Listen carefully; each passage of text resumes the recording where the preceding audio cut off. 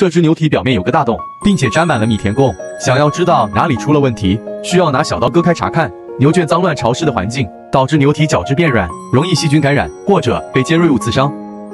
内部已经溃烂，现在要将溃烂周围的角质剔除，让伤口裸露出来。周围已经开始有脓血渗出。经常有人会问牛胸这样会不会疼？其实这和我们剪指甲一样，受伤后会很痛，这是事实。但治疗不及时就会恶化，到时候蔓延到腿部就真的要窒息了。师傅将溃烂处的腐烂组织刮去，这些东西会引起二次感染，必须耐心清理掉。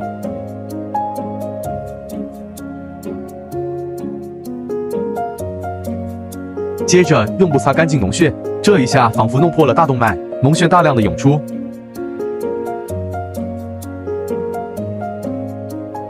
脓血排干净，对伤口愈合也有帮助。于是师傅帮牛蹄做起了足底按摩，促进血液循环。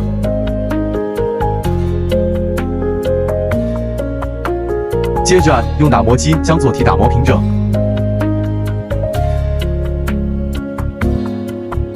左蹄的角质颜色就很健康，整体呈现米白色。